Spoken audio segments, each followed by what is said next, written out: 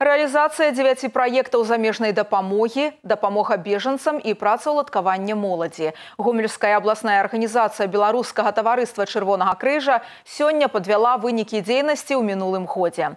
Догляд са старэлых па месцы жыхарства, навучанне насельніцтва, аказанню першай дапамогі ў адпаведнасці з еўрапейскімі стандартамі, правядзенне мерапрыемстваў па прафілактыцы распаўсюджвання такіх захворванняў, як снід і туберкулёз. Дзейнасць беларускага таварыства Таварыства чырвонага крыжа зараз ажыццяўляецца адразу па некалькіх накірунках. Пры гэтым разам са штатнымі супрацоўнікамі актыўны ўдзел у мерапрыемствах прымаюць валанцёры. Падчас пасяджэння прэзідыума абласной арганізацыі агушваюцца сацыяльна значныя праекты, якія рэалізоўваліся ў мінулым годзе. Амаль 600 перасяленцаў атрымалі ваучары на агульную суму ў 130 тысяч рублёў.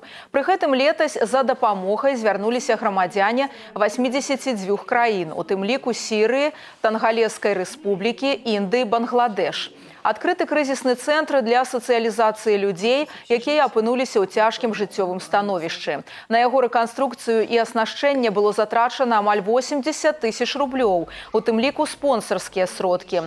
Пашырыў сваю дзейнасць праект няня чырвонага крыжа. Цяпер догляд дзяцей сірот ажыццяўляецца ў медыцынскіх установах гомеля, мазыра, рэчыцы і жлобіна.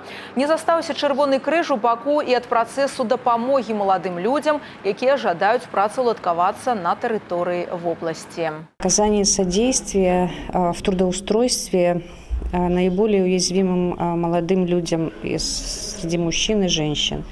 Тоже, на наш взгляд, это очень важный момент, когда молодые люди используя опыт общественных организаций, используя опыт э, свой жизненный, э, могут трудоустроиться, найти работу. И это сделано прежде всего для того, чтобы люди не уезжали в поисках работы э, за территорией области, за территорией страны, а имели возможность легально работать, реализовать себя у себя дома.